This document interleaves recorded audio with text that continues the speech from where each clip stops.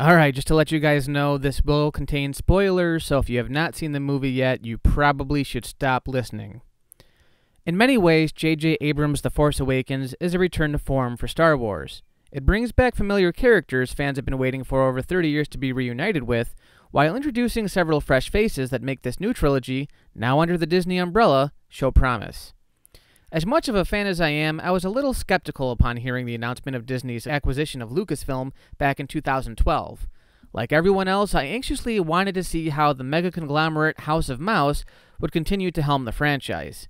To everyone's delight, the announcement of returning cast members Harrison Ford, Mark Hamill, and Carrie Fisher promised fans that they would finally get to see their favorite characters return to the big screen. But in what capacity? I'm the underdog. I actually liked the prequels. I'm actually a fan of anything George Lucas does. The man is one of the main reasons I decided to pursue a career in media. Of course, I have my own reasons for liking the later trilogy, and I've given up trying to defend it. Like them or not, I don't think they were the films everyone was expecting. In fact, one of the reasons I appreciate the prequels is that Lucas wasn't trying to please the fans, as strange as that sounds. He simply wanted to make an entertaining series of movies. That's the biggest difference between Lucas's prequels and Abrams' latest installment. This one does everything in its power to cater to the fans, as if apologizing to them. Not that fans necessarily need an apology. If they didn't like the prequels, just don't acknowledge them. You could easily go straight from Return of the Jedi to Episode 7 without seeing the first three episodes, and you'd be fine. That's not to say that Force Awakens completely obliterates the prequel's canon, it just simply avoids referencing it too often. That being said, this is the sequel that fans wanted. It feels like a natural continuation of Jedi, taking place 30 years after the fall of the Empire, and in that time, it doesn't seem that much has changed. Luke Skywalker has undergone a major gender change, Darth Vader has regressed into a tantrum throwing teenager, Stormtroopers look more badass, and Han Solo has gotten older. Needless to say, perhaps the film's biggest flaw is that it borrows too heavily from the original trilogy, especially from A New Hope. And you can call it whatever you want Star Wars or Episode 4, it is what it is. I'm not going to go much deeper into that, as just about every other critic has beaten that to death. Honestly, I feel there's just enough new things to make it a fresh experience. It just draws heavily from the original trilogy as its backbone. Seeing this with an audience on opening night was an experience unto itself. I've seen it three times as of this writing, and with each time the audience reaction seemed to diminish. I'm not saying that the film is not as good after repeated viewings, just that nothing seems to match what I experienced on opening night. As soon as the Lucasfilm logo appeared on screen, everyone applauded and cheered. The same thing happened during the opening crawl, and whenever a classic character was introduced. It seems like Disney was intentionally delivering fan service, but I didn't hear fans complain, and admittedly, I was one of the fans cheering. I'm not going to deny that seeing Han and Chewbacca back together again was a heartfelt and earned experience. They don't show up until about the 40 minute mark. The scene that actually had me on the verge of tears was seeing Han being reunited with General Leia. I really wanted to see more of them on screen, as well as an explanation for what exactly happened to them over the last three decades.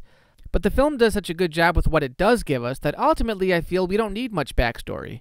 We know that at some point Han and Leia had a kid who would later join the dark side. Apparently, in the books that were released just before the release of the film, Han and Leia got married, and their marriage ended as a result of what happened to their son Ben, who's been refitted with the name Kylo Ren. However, I like how the film keeps this open ended. As a matter of fact, the film seems to skimp on any explanation. How did the Empire transition into the New Order? Where did the Knights of Ren play into all this? Just how powerful is the Resistance? It pretty much expects the audience to draw their own conclusions. A lot of fans have nitpicked these plot holes, but since when has Star Wars needed to spell everything out for us? It seems to me that the last time Star Wars attempted to deal with a backstory, fans were rioting in the streets, arguing about who shot first, and screaming that George Lucas raped their childhoods. So maybe it's to the film's credit that it doesn't reveal everything. It also needs to be said that as fun of a film as this is, it's a setup film, as were episode 1 and 4.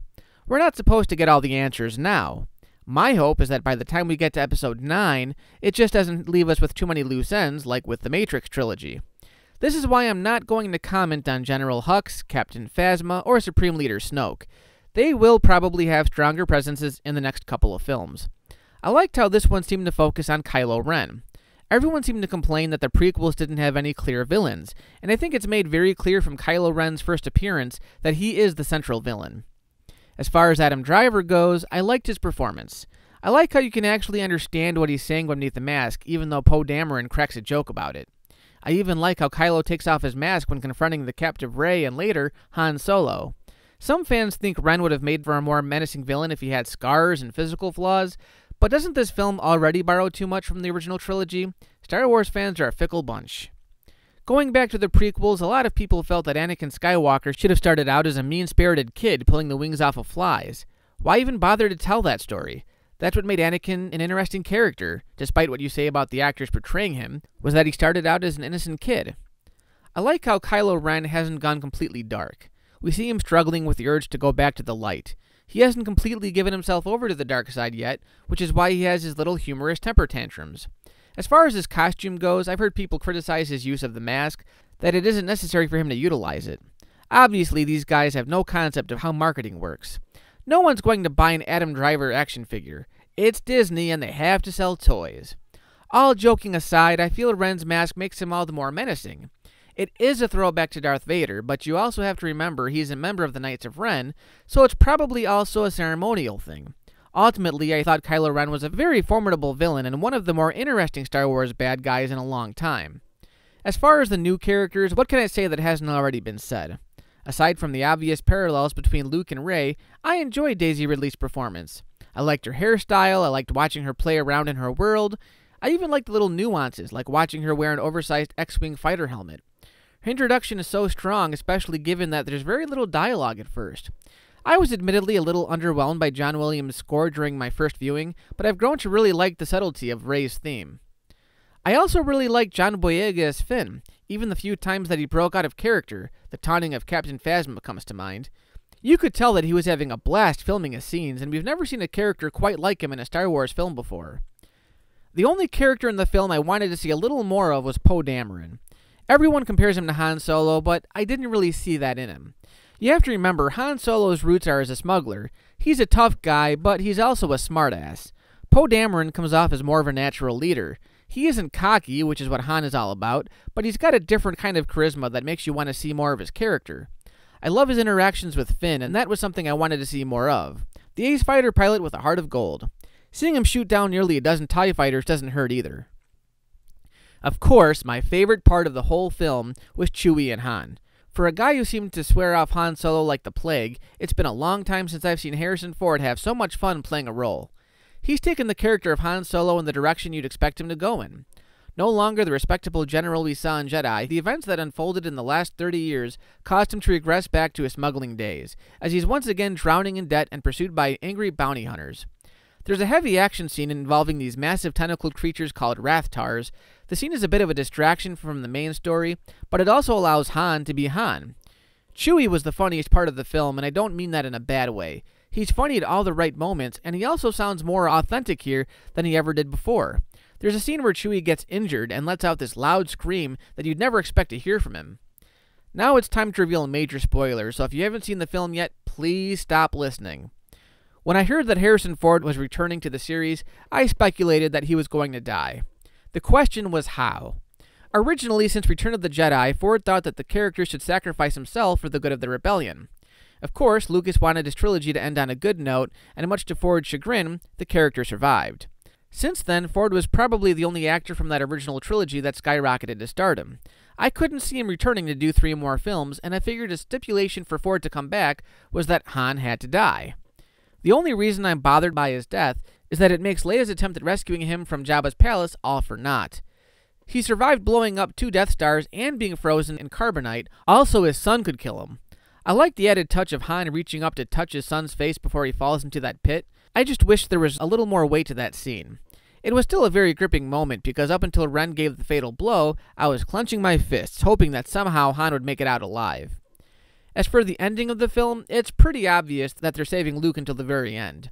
After all, that's the basic plot of the film. Everyone's looking for the last of the Jedi. I love the shots of Rey hiking up the mountain mixed with Williams' haunting score as Luke turns around to reveal an aging Jedi Master reminiscent of Alec Guinness. The best part of that final shot is the look Luke gives to Rey as she hands him his lightsaber. There's so much that's said in his eyes and his facial expression, and yet nothing is said at all. It's a very gripping closure to a movie that is anything but sequel proof. Is it a masterpiece? No. In fact, it doesn't try to be anything else than a Star Wars film, and Star Wars has always been about fun. Whether you go to see these movies for the characters, the environments, the weapons, the costumes, the action, the effects, the music, or the stories, Force Awakens delivers on all of these factors. The Force is strong with this one.